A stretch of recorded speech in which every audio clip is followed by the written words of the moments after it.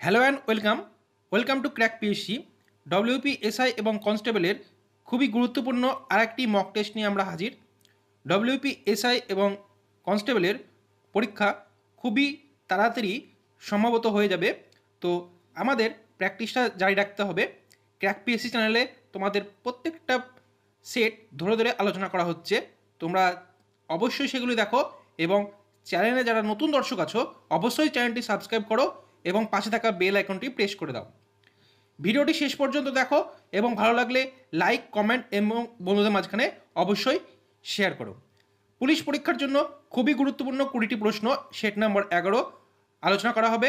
দশটি সেট ইতিমধ্যে আলোচনা করা হয়ে গেছে। তোমরা যারা এখনও পর্যন্ত দেখোনি, ভিজিট করে অবশ্যই দেখে নাও। সঙ্গে থেকো লক্ষ্য পূরণের জন্য। চলো তাহলে শুরু করা যাক।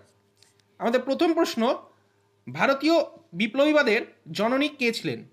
বিপ্লবীবাদের জননী কে ছিলেন? প্রথম প্রশ্ন, তো ভিকাজি রুস্তম কামা বা madam Bhikaji option number A হয়ে যাবে সঠিক উত্তর। দুই নম্বর প্রশ্ন, জাতীয় কংগ্রেস কবে স্থাপিত হয়? ভারতীয় জাতীয় কংগ্রেস কবে স্থাপিত হয়? তো আঠারোশো পঁচাশি হয়ে যাবে এই প্রশ্নের সঠিক উত্তর। ভারতের সর্ববৃহৎ বাণিজ্যিক ব্যাংকের নাম কি? সর্ববৃহৎ বাণিজ্যিক ব্যাংক, তো স্টেট ব্যাংক অফ ইন্ডিয়া হয়ে যাবে সঠিক উত্তর।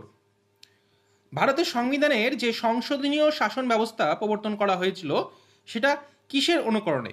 তো ব্রিটেনের অনুকরণে option number A is the right answer পাঁচ নম্বর প্রশ্ন স্বাদু জলের যে জলাশয় আছে, সেই জলের জলাশয়গুলোর দূষণের মূল কারণ কি?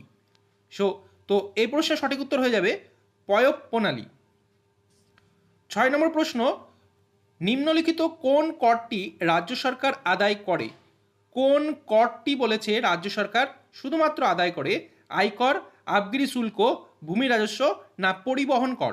তো ভূমি রাজস্ব option number C is the right answer খুবই গুরুত্বপূর্ণ প্রশ্ন। রাজ্য সরকার ভূমি রাজস্ব করটি আদায় করে। হল্যান্ডের পূর্ব নাম কি ছিল? হল্যান্ডের পূর্ব নাম ছিল Netherland. Option number D is the right answer Cooch Behar কোন নদীর তীরে অবস্থিত? তো কোচবিহার তোরসা নদীর তীরে অবস্থিত option number B is the right answer নয় নম্বর প্রশ্ন, চিল্কা হ্রদ কোথায় অবস্থিত? তো চিল্কা হ্রদ উড়িষ্যাতে অবস্থিত option number C is the right answer দশ নম্বর প্রশ্ন, সবচেয়ে শীতলতম গ্রহ কোনটি? তো নেপচুন হয়ে যাবে এই প্রশ্নের সঠিক উত্তর। Poverty and unBritish rule in India গ্রন্থটি কার লেখা? Poverty and unBritish rule in India Dadabhai নৌরজির লেখা। খুবই গুরুত্বপূর্ণ প্রশ্ন এই প্রশ্নটি। বারো নম্বর প্রশ্ন, পাট্টা এবং কুবিলিয়ত কে প্রচলন করেন? তো শের শাহ, আমরা সবাই জানি option number B is the right answer তেরো নম্বর প্রশ্ন, ঔরঙ্গজেবের মৃত্যু কবে হয়েছিল? তো সতেরোশো সাত হয়ে যাবে এই প্রশ্নের সঠিক উত্তর। ঔরঙ্গজেবের মৃত্যু হয়েছিল সতেরোশো সাত খ্রিস্টাব্দে। চোদ্দ নম্বর প্রশ্ন, সবচেয়ে ভারী মৌল কোনটি?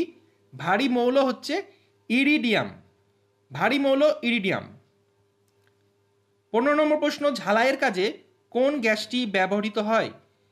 ঝালাইয়ের কাজে ব্যবহৃত হয় acetylene. Option number D is the right answer. ষোলো নম্বর প্রশ্ন, নিচের কোন পতঙ্গটি জলে ডিম পাড়ে? জলে ডিম পাড়ে dragonfly. Option number A is the right answer. ভারতের প্রথম প্রধানমন্ত্রীর নাম কি? তো Jawaharlal Nehru is the right answer option number A হয়ে যাবে সঠিক উত্তর। আঠারো নম্বর প্রশ্ন, খুবই গুরুত্বপূর্ণ প্রশ্ন, ইরানের মুদ্রার নাম কি? ইরানের মুদ্রার নাম হচ্ছে rial option number A is the right answer খুবই গুরুত্বপূর্ণ প্রশ্ন, ইরানের মুদ্রার নাম হচ্ছে রিয়াল। উনিশ নম্বর প্রশ্ন, ময়ূর সিংহাসনের প্রধান শিল্পী কে ছিলেন? ময়ূর সিংহাসন খুবই গুরুত্বপূর্ণ প্রশ্ন। ময়ূর সিংহাসনের প্রধান শিল্পী ছিলেন Bebadal Khan. Option number A is the right answer কুড়ি নম্বর প্রশ্ন, আমাদের শেষ প্রশ্ন।